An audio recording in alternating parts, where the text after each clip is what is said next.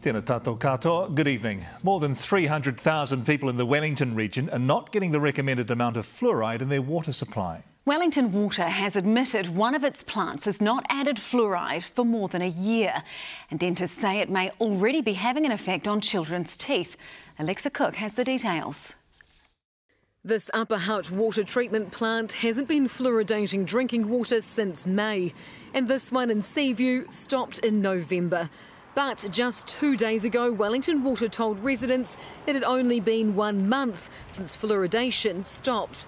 Chief Executive has come and said, I've given you the wrong information. He obviously felt terrible about that. The company doesn't know exactly who is at fault. Has someone at Wellington Water lied here about these dates when the fluoride stopped? I, mm, I don't know. That's why we're doing the independent inquiry. Dentists are shocked as fluoride helps prevent rotten teeth. The New Zealand Dental Association is absolutely appalled at the situation. It's astonishing that Wellington Water haven't fronted residents and told them that they weren't fluoridating water. It's deeply concerning and a major public policy failure. Wellingtonians agree. We should have known um, that that was the case so that we can do something about it. So it's an important health concern to some people, and, and a lot of us rely on it for our children or our grandchildren. So they've sort of ripped us off, eh?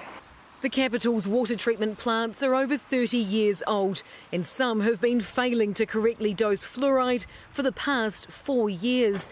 The Dental Association says there's been an increase in Wellington kids needing rotten teeth removed in the past year and believes the lack of fluoridation's partly to blame. We're very concerned about this. We know that children living in non fluoridated areas have a 40% higher tooth decay rate than those living in fluoridated areas. Only about 2.3 million Kiwis have fluoridated drinking water, but that's set to increase under new legislation, which gives decision making power to the Director General of Health, who can force councils to put fluoride in their water. And after this incident, there are calls for a review of those already fluoridating to make sure it's being done properly. If this is happening in Wellington, maybe it's also happening in other regions. The association wants fluoride in all drinking water to reduce tooth decay, especially in children. Well, Alexa joins us now. Kia ora, Alexa. What's the advice for the 300,000 Wellingtonians not receiving enough fluoride? Well, Mike, if they're worried about it and want to prevent their teeth from rotting, luckily there's a simple solution.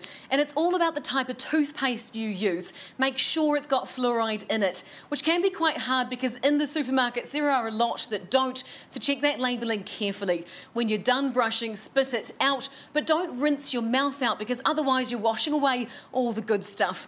Wellington Water says it doesn't know when fluoride will be back in our drinking water, but says it is working hard to fix the problem. Alexa tēnā koe.